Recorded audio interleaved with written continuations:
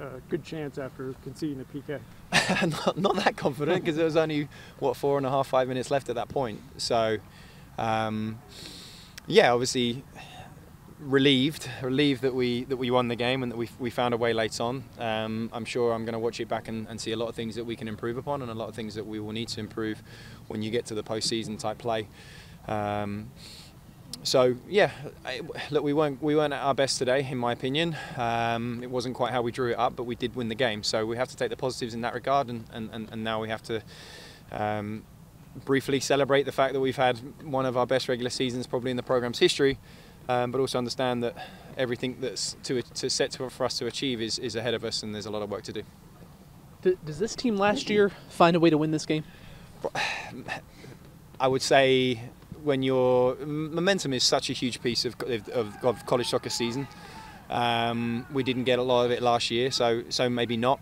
No, uh, maybe the the past experiences of feeling a little down on your luck, and in a moment like that where all of a sudden it goes one-one, um, maybe we don't, maybe we don't, but I think we have the start of the season and the, the momentum that we've built, the ranking that we obviously have, the high seed that we have from an RPI perspective to, to thank for having the belief and then having the capacity to, to, to squeak one at the end there to win the game.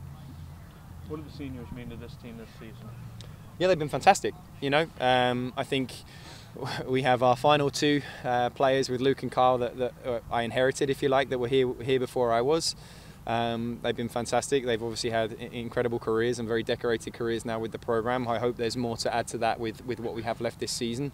And then those that have been additions, tr- transfers, whatever it may be, um, again, are brought in really well to what it is we expect from the program, the culture, that aspect of things. It's been it's been a real real positive. I would say the the, the whether we win or lose the game last year, to your question, I think the biggest difference probably from, from this group is the, the collective social dynamic of this group is, is so together in that regard. They, they, they love, love each other to bits, um, enjoy each other's company, look forward to seeing each other every day. So it's a really good group to be around in that regard. And that really counts for something when you then come out here and it's 1 1 with two and a half minutes left and you've got to find a way. Have you heard the results from tonight?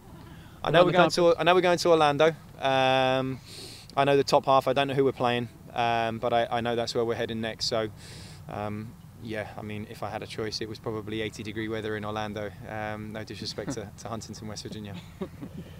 Obviously, you've got some experience playing there this year. Uh, what do you take from that experience, both just overall playing on that field and then obviously potentially playing them again? Yeah, I think the field is the biggest challenge. It's it's a it's a good surface. It's it's a Bermuda grass. It's a very very tight cut, um, very very quick surface. So there's definitely an adjustment to be made. Um, you know, the ball doesn't hold up the way you. Um, have to find passes to feet as opposed to potentially hurting, hitting space in behind changes the approach a little bit, changes the way that we have to um, build the game, and then obviously the way that either team can affect, essentially affect the game higher and press. So um, it was an ad- adaptation for us. Um, we'll make sure we're there in plenty of time and, and, and, get a couple of days training on the surface and. Yeah, like I said, looking looking forward to it. We obviously go there with with a, a positive outcome. I thought we had a very very good result there against a very good team. Um, but first and foremost, we've got to get through whoever it is we're playing in the quarterfinal. Carlos's goal in the first half? Was it a product of good build-up prior to that? Um, I mean, we'd, we'd had better build up, and obviously I think it came off a set piece in a second phase and, and uh, ended up getting back down the right. I think Crixie did well to, to put it back into a dangerous area. Um, and, and again, Carlos is a, technical player, so when it drops to him on the volley, I feel, I feel pretty, pretty confident um, as a centre back that someone like him still has the quality to finish. What do you need to see from your team between now and when you get started on Sunday? Uh, time to recover. Um, obviously, the humility to understand that it needed to be better tonight, and that we, we still go through our process as, as we normally would, and, and and, and look to improve on what we what we didn't quite do to our levels and our standards. Um, and then, but at the same time, to obviously to, to, trust the process that we've that we've had to this point in the season, and trust that um, yes, whilst it can feel like um, it's kind of a win or go home situation. What we've done to this point has worked, right? What we've done to this point through um, what uh, what 17 games now has allowed us to win as many as we have. So um, we've had a fantastic regular season, and we can take a ton of confidence into postseason as a result.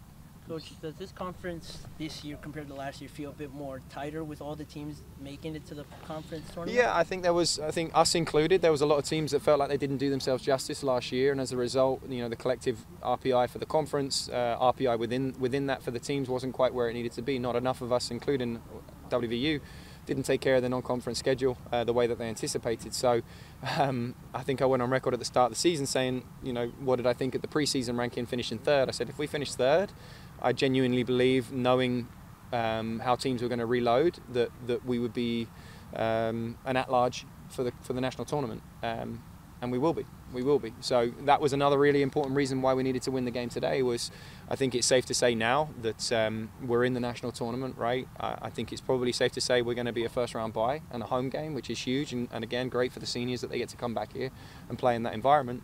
Um, so that is a reflection of the quality of competition. Um, again, JMU now winning in, at UCF, they're probably going to drop to uh, drop to something like 35 in the RPI maybe. So you've got two, you've got four teams that are in the top 40 in RPI that are all making a great argument for why they should be an at-large for the national tournament. It makes it difficult, um, but it's what we wanted as well. We wanted that type of challenge, that type of quality, um, and, and this year the Sunbelt has delivered. You've said in the past you don't always look at penalty kicks. Kind of turn to the side. Did you look at? Definitely wasn't looking today. no, definitely wasn't. I thought I normally I, I watch when when uh, when when we concede them. I thought about not watching today. Um, yeah, I mean, look, it won't be a secret. We we've watched that kid take the last five penalties. He's gone the other way every single time. So it was so hard when we do your preparation for that stuff. I spoke to spoke to Nobes and obviously Jackson came in to do to get that get that preparation, and it was like you, you have to you have to go to your right because he's gone that way five in a row um, and obviously sticks it in the other top corner. So what do we know? But um, no, I that superstition has served me well, and I will continue to stick with it until someone realizes how, or I realize how stupid I am.